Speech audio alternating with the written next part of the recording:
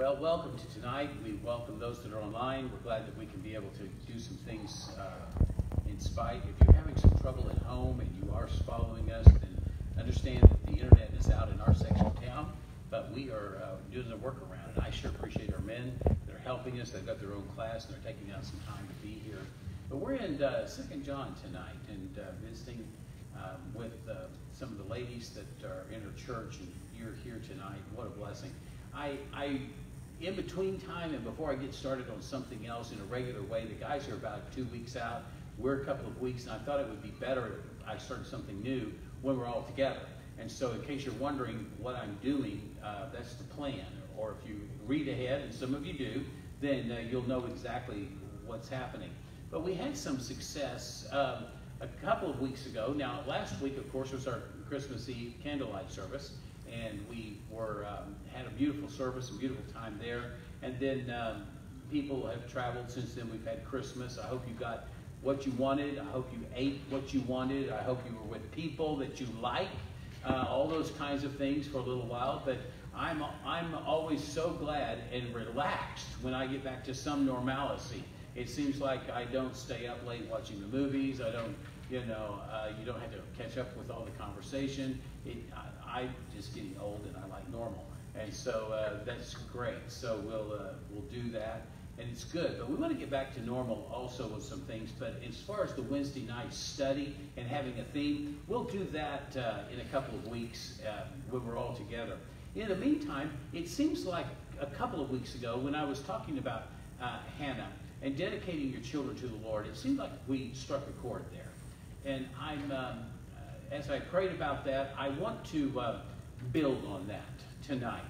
Uh, I hope that it's a help uh, all up and down the scale, whether or not you are looking forward to a time when you would have children uh, as young ladies, whether you've had children and you're a grandparent, whether you are having children or have children at home, all of those particular things. It's amazing to me how the Lord God appropriates Scripture to our lives at every point where we are. Now, let me give you just a little bit of a background to this particular um, book. Uh, you noticed it's only one chapter, 13 verses here is the whole thing. That chapter is even shorter, and this book is even shorter than some other chapters in the Bible, uh, very comparatively. Um, for instance, Psalm 119 has 22 sections, of eight verses each. You just take two of those sections, and uh, it's longer than this particular little book. It's a letter, and it's by the, the person that bears its name, John. And uh, John is the uh, disciple, he is the apostle John. He's the one that was close to Jesus. And he has uh, two recurring themes. One is love and the beloved, and the other one is truth. And that's the one we want to talk about tonight is truth that is worth guarding. Um, we live in a day where we are pretty much aware that you need to guard the truth because people want to think, well, what do I believe or who do I believe? We've heard the term, all of us, fake news. What does that mean? Somebody's lying. Uh, that's, at least that's the, that's the accusation. And somebody will say, well, is it fake news or are they telling the truth and the person that's yelling foul, are they the ones that are lying? And sometimes we don't know. We've lived in a pandemic this whole year, and all of us have had, had uh, conflicting views over some aspect of the coronavirus, haven't we? We want to know who to believe. The truth is worth guarding. Now, there's only one absolute truth, and the Bible says, Thy word is truth. And we need to understand that this is worth guarding. Now you're going to say, well, what does this have to do then with what you just said about dovetailing into uh, us being able to, um, what does this do to dovetail into motherhood and those things there? Let me just tell you that in, uh, in there's 99 times that this word truth is used in the New Testament.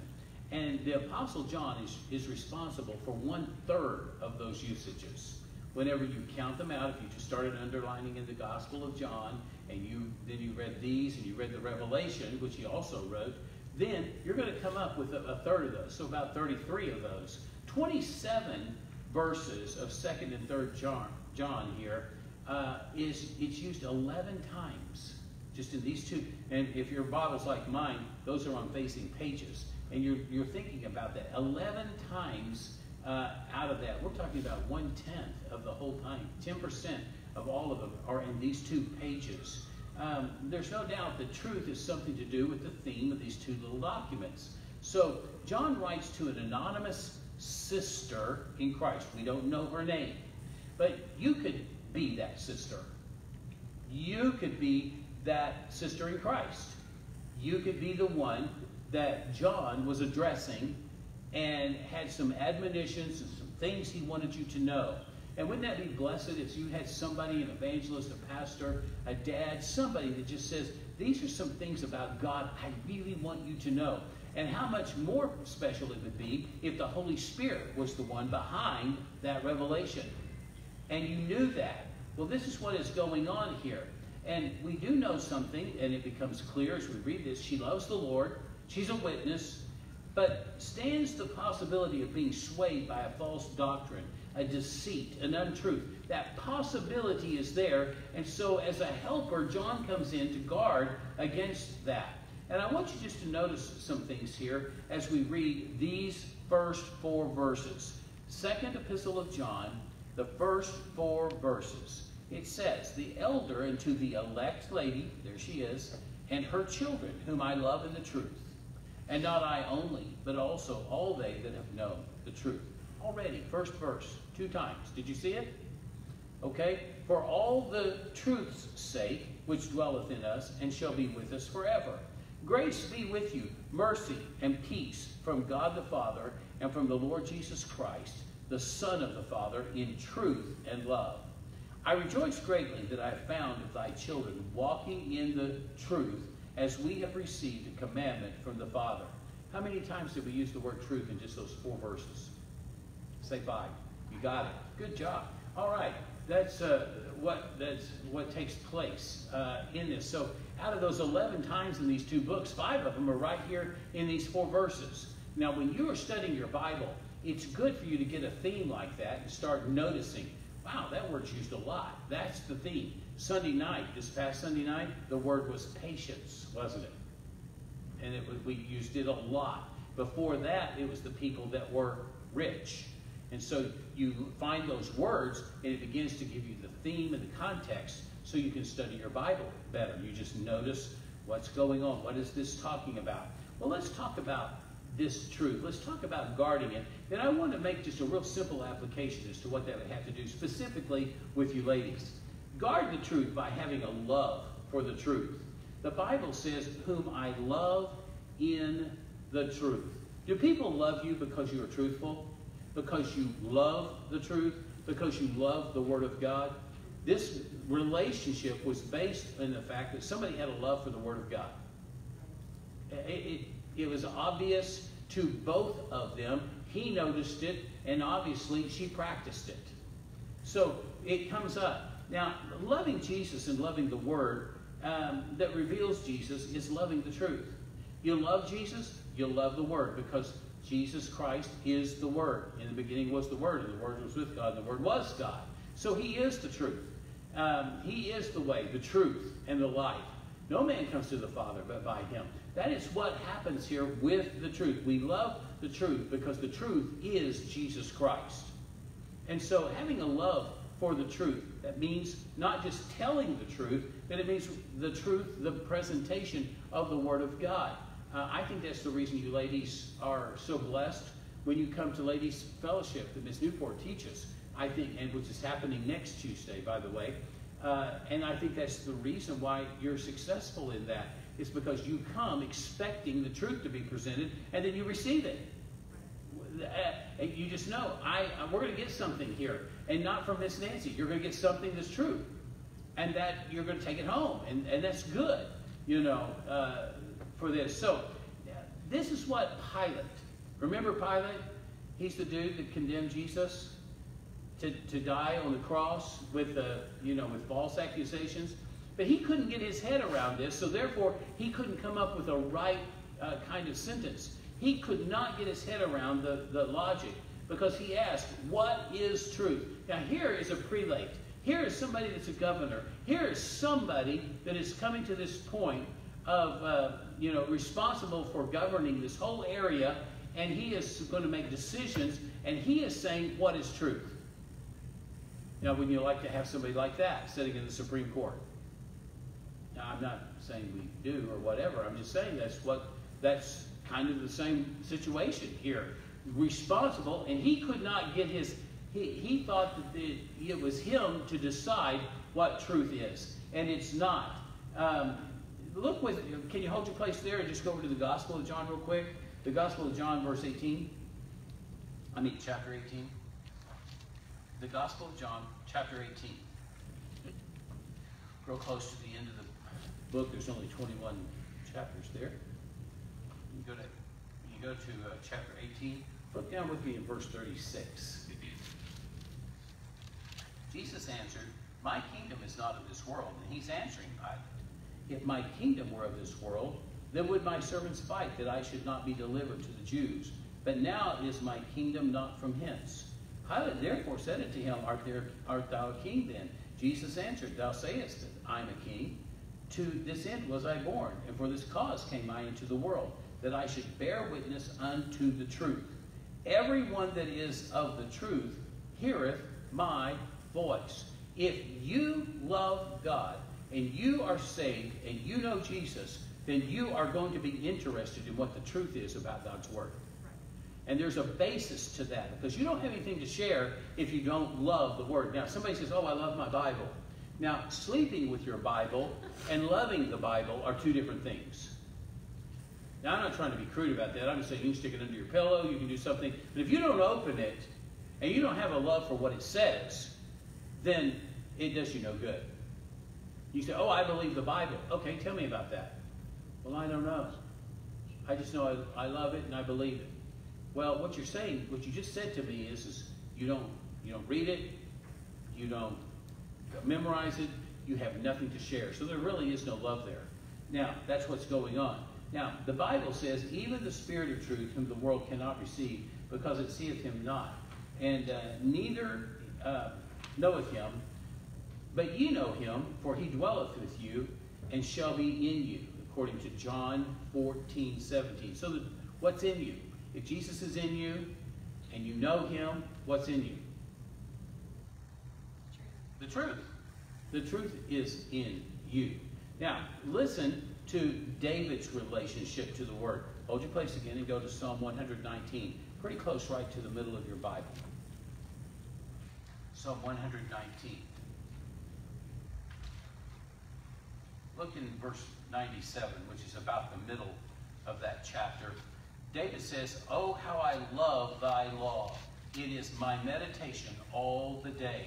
Look down at verse 113. I hate vain thoughts, but thy law do I love. 163. I'm still in the same chapter. Just stay in the same chapter. Just go turn pages or where we need to be. 163. I hate and abhor lying, but thy law do I love. Why would the law be something you love and lying something you hate? Because the law is true. It's, it's the standard, isn't it? Look at 165. Great peace have they which love thy law, and nothing shall offend them. Do you think David had a relationship with the Word? A love hate relationship, didn't he? He loved the Bible, he loved the Word of God. He loved uh, let me tell you, you, you ladies that sing and, and, do some things together, if you're not singing the Word of God or about the Word of God, I'm not talking about quoting Scripture, but if you're not singing about Jesus, the cross, the blood, salvation, if you're singing about how you feel, that's not true. But when you're singing about the doctrines of the Word of God, you're singing what's true. And that expresses, it becomes a love song then. That's exactly what begins to happen. I, I've said this before, and I think it's so important um, I'm always highly suspicious of songs that begin with the word I. I, I just my I just kind of go, where's this going? You're about to tell me about you instead of Jesus. And I just kind of get suspicious about that because the world songs and the world centers around I. But we want to love him. So it revealed who he had a relationship Uh, it was a, it's a favorite. Is it just a good piece of literature, the Bible? No. There's a relationship. I love thy law.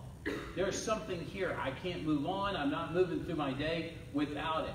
Acts 13 says, I have found David, the son of Jesse, a man after mine own heart, is what God had told people about David. Why was he after his heart? Because he loved the truth. He loved Jesus. You can be a person after God's own heart. Now, I'm going somewhere with this It has to do with you ladies. He that receiveth his testimony has set to his seal that God is true, according to John 3.33. Now, loving the truth makes it worth guarding. Putting a fence around it. Is there someone you love? If I came, and I'm just saying there's little girls in the, in the auditorium today, and I guarantee you that if I were to turn on a different personality and become schizophrenic or something, and I, I begin to attack one of these little girls, I guarantee you, mothers and most of you would attack me, but out of a love and a protection for that life. You would.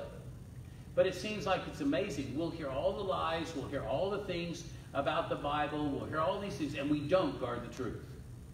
We'll go to school, we'll let somebody cuss around us, we'll listen to a dirty joke, we'll have a, a practice of, of something that's uh, wrong.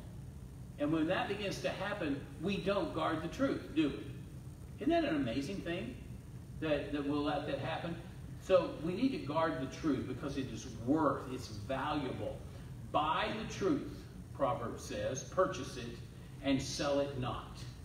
Then, second thing, guard the truth by having a knowledge of the truth.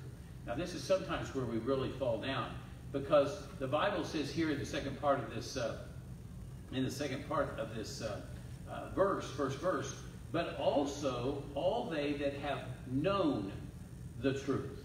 What does it mean to know the truth? There's a difference in knowing something or knowing about it and knowing them. Uh, anybody know about George Washington? Tell me, tell me some things. What do you know about George Washington? come on, speak loud. I'm old. I can't hear you. First president of the United States. What else? He crossed the Delaware. Did he pray with the troops? He prayed there in Valley Forge. He was president of the Constitutional Convention. Oh, come on. His wife's name was? See, you know more than you think. Okay. He lived at? Yeah. I mean, you know, you know these things. He's buried at Mount Vernon. Okay. I mean, there's just there. There are some things we know about him. He was a general in what war? A Revolutionary War and he's on the one dollar bill. We did we know he his nickname is to be the what of our country? Father. The father of our country. Okay. Uh, so there's a lot that we know about George Washington. Okay, now we, we all agree we know some things about George Washington. How many of you have met George Washington? How many of you know George Washington? Well, no. Nobody's met him. We know a lot about him. We could even say that about a current president, couldn't we? Right. We could know some things. We could know what color his hair is. We know where he lives. We know where he goes on vacation. We know a lot of things. We could know his wife's name. All those same similar things, but we don't know him. Right? There'd be a different set of. I'm not saying it's one thing. There's a lot of people that think they know a lot about the Bible, but they don't know the truth. Right. That is a huge difference. And I'm telling you, the first thing is to be saved. You can't know the Bible unless you know the person of the Bible. Right. Uh, in fact, the Bible talks about that. It talks about your understanding is darkened. And you'll think about it, and somebody say, oh, that's just too hard to understand. No, it's not. If you love somebody, you get to know them. You get to know them. It, it becomes, in fact, it becomes a delight. You just kind of want to hang around. You know, and uh, say things to each other and, and be a part of some things. I have not written unto you because you know not the truth, but because you know it, and that no lie of the, is of the truth. 1 John 2 21. Uh, if you just went back a page, you'd be in 1 John. John, the gospel, says, And ye shall know the truth, and the truth shall make you free. Do you have a knowledge of the truth? If so, it's worth guarding. It's worth guarding. Now, guard the truth by giving it a place in your life.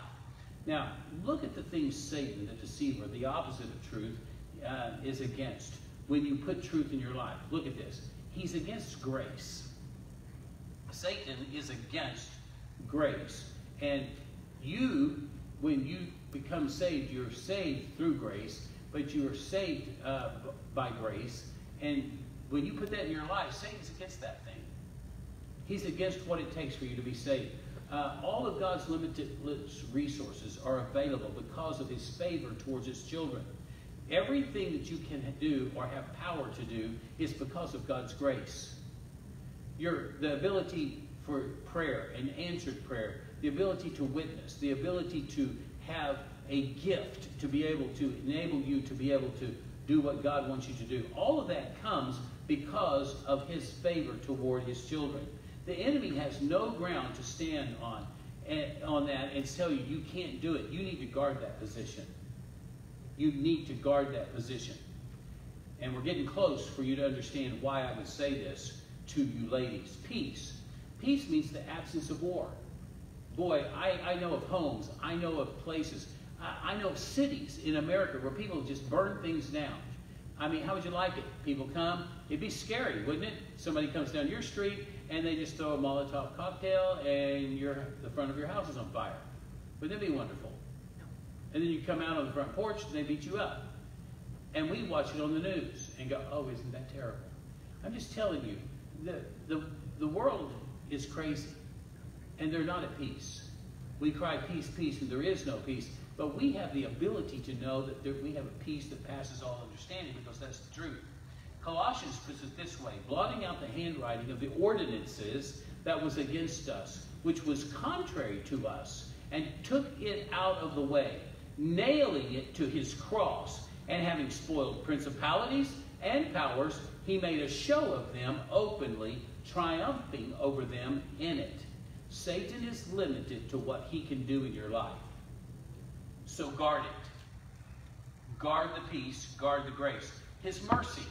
That means God will not allow Satan to go any further against us than we are able to bear. We just spoke of Job when we talked about patience and maturing. God is not going to push you or give you anything more than you are capable of. So oh, I just can't do this. I can't live the Christian life. Yes, you can. And besides that, you're not in charge. God gives us what we can bear. And he does that because if you'll remember in the book of James, um, every, uh, every trial can become a temptation. And what you do with the trial determines whether you pass the test or whether it becomes a temptation to fall. Every time. That's the reason we hear there is no temptation taking you, but such as is common to man. But God is faithful, who will not suffer you to be tempted above that you are able. What did they just say? Will not suffer you to be tempted above that which you are able. What did it just say? Yeah. You are not getting in a situation that God has not given you away because listen to the rest. It says, who will with the temptation also make a way of escape that ye may be able to bear it. There, there is already a way. Most of the time that's in Scripture because his promise is usually contrary to the temptation. You get tempted to not be pure in your relationship. God says there's a reward for being pure, and there's a way to escape. There really is. God says that uh, you know that you this relationship when you're married, it's hopeless, and uh, you can't submit, you can't do these things. God says that when you do, that you may win them. That's that's what First that's what Peter says. You see, there is a scripture, and sometimes we're not going to the truth, and hopefully we'd not get in that situation if we obey the truth at first. But that's mercy. Guard it. It's it's uh, peace. Guard it. It's grace. Guard it. Truth. Right here uh, the Satan, the deceiver, wants to get into all of those things because he cannot do those things. But if you've got them in your life, you need to guard the truth. Now, truth has a place in your life, and it is worth guarding. But the final thing I want us to know before we bring an application to this is guard, guard the truth by living, walking according to the truth. When you look at verse 4, I rejoice greatly that I found thy children walking in the truth.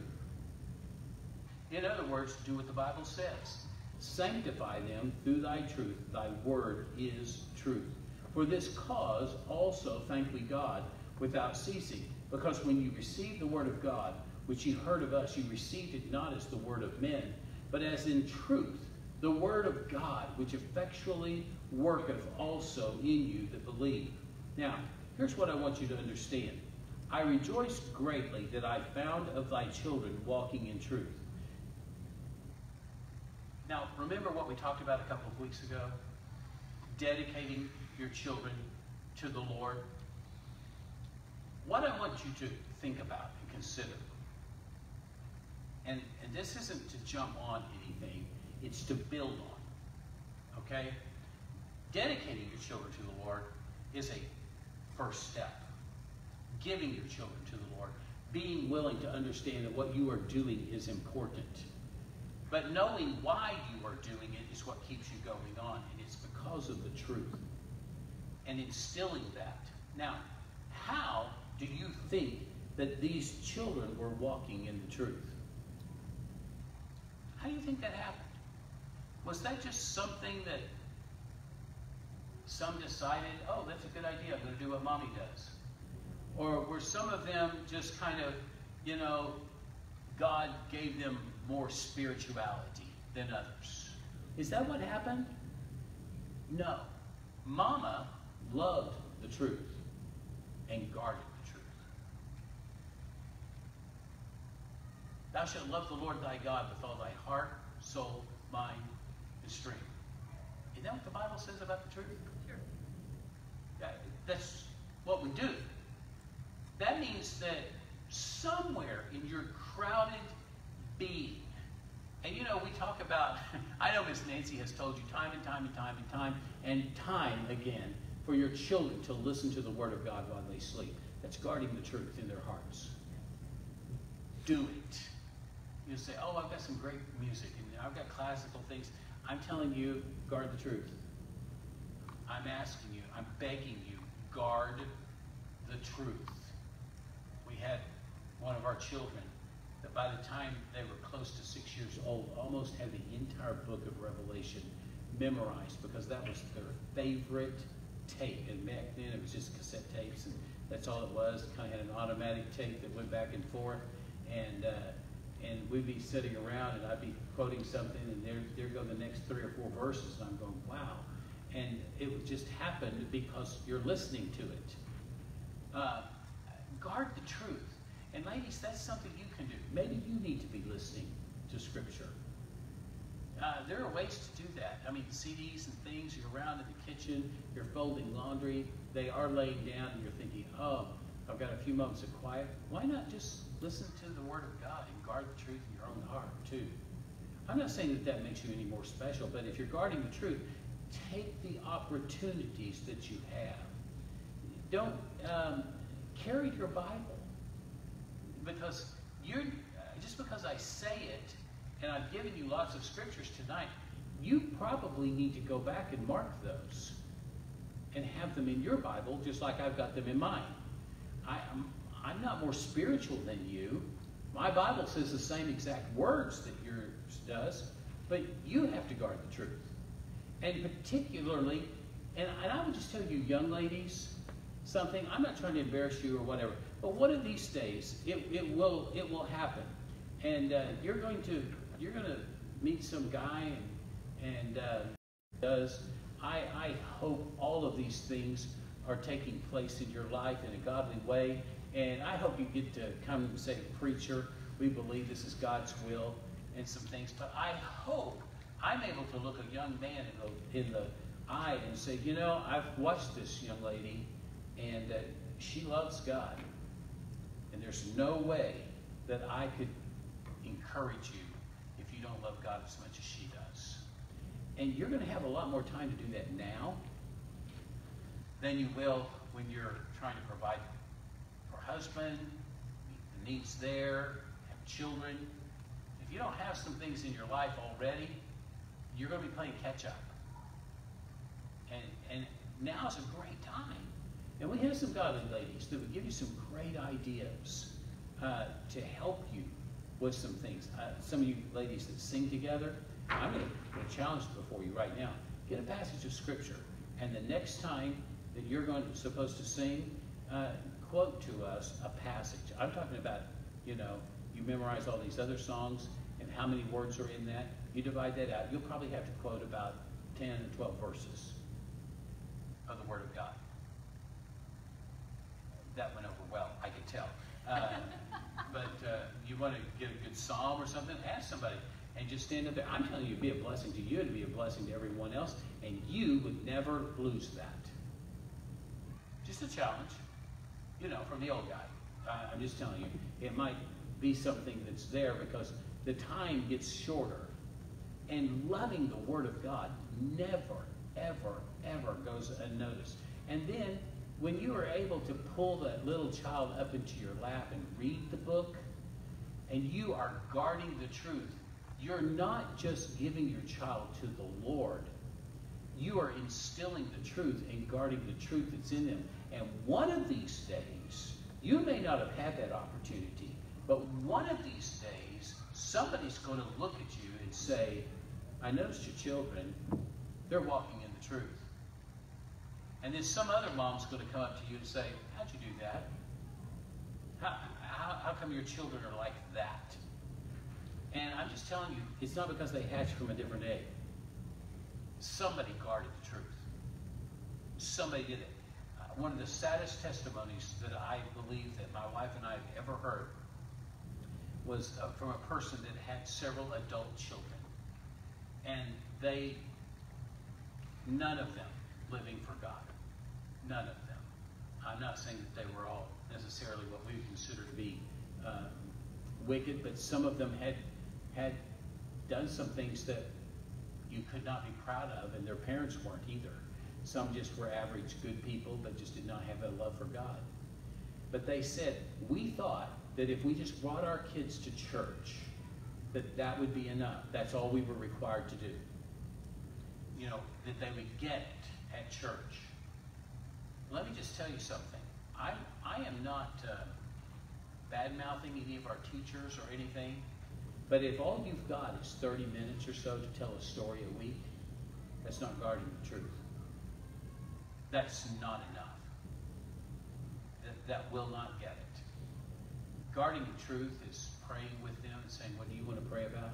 Praying with them in the morning, praying with them when they have their snack, praying with them when they have their supper, daddy praying with them, going to bed praying with them, reading the Bible out loud, showing them who missionaries are, having missionaries into your home, evangelists.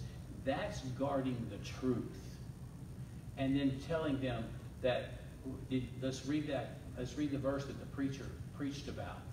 And you're thinking, boy, that was deep this morning, and I'm not sure they can do it. You don't have to explain it. Just let the Word of God, just guard the truth. Just guard the. And let them grow into it. I have a granddaughter that probably would be considered to be um, distracted in church. but then you'll go later and say, What did granddad, what was he talking about? And she probably knows more than many of us in this room. And because you, you train to the truth, know what it is. And I'm just telling you, you ladies, you have a bigger influence over that. Let me say something else. When you're being used in our church, don't give up on the excitement that you would put in any level. I hope you never keep the nursery. I hope you never stay in the nursery. I hope you never take your turn in the nursery. I want somebody going in there as a pastor, standing at that door, following the procedures, and as those little children come in, you're sitting them down at the table and you are guarding the truth. They need to know. You think they can't get it? or they won't get it, or that you are just kind of marking time, or they're too young, guard the truth in their lives. Come prepared, come ready, out what you can do, be excited about what's going to take place. Um, that, that you're going to get have a lot more fun, and people will be a lot more responsive to your lessons than they are in here. Uh, more fun than I have all the time, uh, you know. So might as well have a great time. Guard the truth, and you have that opportunity. Now I know what Dad's doing, and Dad's doing what Dad's supposed to do, and he should be providing and earning and having the wage that should be happening. But when you become the keeper at home, which is what Titus talks about, when you become that, then you are the one responsible for guarding the truth. I'm going to say something here that, uh, you know, it'll be recorded, it's going out, it'll go all the way to Montana. Uh, the, uh, the fact is, is that um, I'm telling you, you cannot, you cannot pay someone else to guard the truth in the lives of your children. The Bible never says that. It doesn't happen. And by the time you think you're going to take over guarding the truth, somebody else has already had the primary influence and stolen that from you. That's not guarding. And you need to know that. You need to know that now. So when you're talking to somebody, oh, we're going to do this, and we're going to do, have this, and do daycare, we're going to, when you start talking that way, you need to understand that I would remind you that if you're going to see your children walking in the truth, nobody else is interested in that. Nobody else is, except you. So, you can dedicate your children to the Lord, but if you want them walking in the truth, you're going to have to guard it. And God will give you some exciting, wonderful ways to do that. I think Timothy's mother and grandmother guarded the truth in Timothy's life. So when Paul came along, I, I just think it stood out, don't you? You know, Titus was a young man. I don't know who guarded the truth in his life. I got a pretty good idea his mom had something to do with it. I really do. The receptivity to those things and just being able to, to pull those things in. They saw it first in their mom's life, and then they begin to in their grandparents' life, because I, I would mention Eunice again, but eh, first there, but then it shows up in the children. But we've got to guard the truth and know what it is. You see, a church can fuss, fight. People talk about, well, we've got these ladies in our church, and they gossip and they do all this. Let me just tell you, if you love God and you love the truth, that's not going to happen. Because you're going to be guarding the truth, and you don't want that to happen. So you're going to see to it that it doesn't. I'm not talking about fighting. I'm just saying you're going to guard the truth. We're not participating. Usually that's the best way to take care of it. Just don't participate. Okay? All right. God bless you. And God love you. Thank you so much for uh, has taken place. Thank you for joining us online. If you did tonight, look forward to Sunday. Ladies Fellowship is next week. And if you want to sign up for that, you can call into the office or you can also um, uh, do the, uh, uh, just sign up here in the foyer and be glad to do that. Thank you so much.